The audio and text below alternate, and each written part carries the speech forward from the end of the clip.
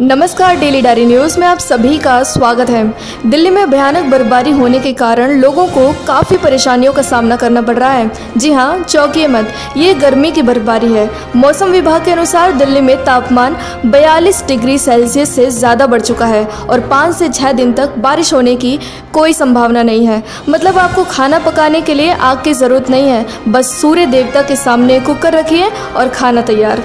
सड़क पर चलती हर गाड़ी और घर में चलता हर एसी इस तपती गर्मी के लिए जिम्मेदार है, जो आपके और हमारे समर्थन से जोरों शोरों से जारी है। इसी बीच खबर आई कि दक्षिण दिल्ली में करीब चौदह हज़ार पेड़ विकास की भेंट चढ़ने वाले हैं। दक्षिण दिल्ली में विकास के नाम पर सात स्थानों पर पुनर्निर्माण प्रोजेक्ट के लिए हरे जंगल को काटकर कंक्रीट के जंगल बनाए जाएँगे।